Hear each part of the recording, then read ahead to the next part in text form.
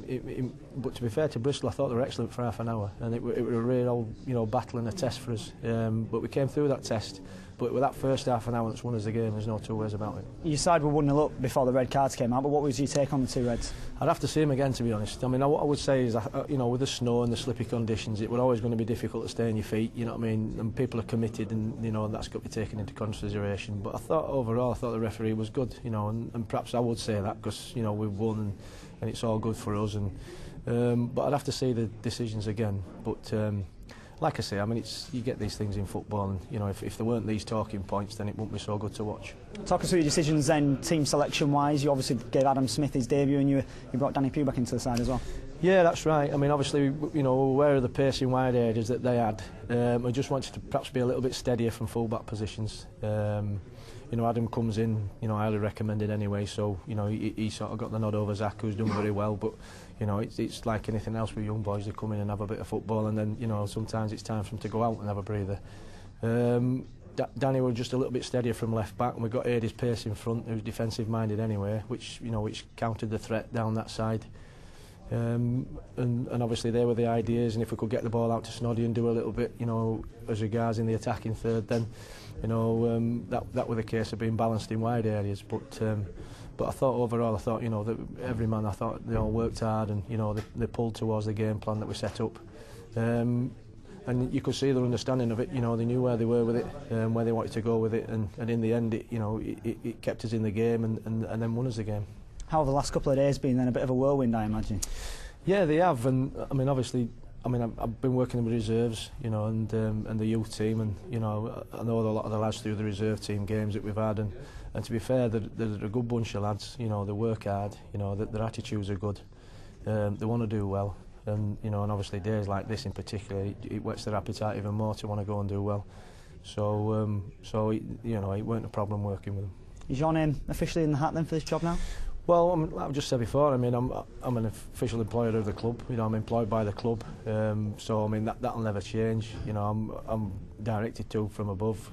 you know, by, um, I mean, the powers that be will decide, you know, who the new manager is. But, you know, what I want to do is make sure I do as well as I can for the club, you know, while I'm here in, in charge of it. And, you know, if it's me, great. If it's not, you know, then somebody else will come and do it and great. You know, I'll, I'll support them all the way. But, um, um, you know, it was a good performance today, but we can't really look past that. It's one performance and you know, it's um, uh,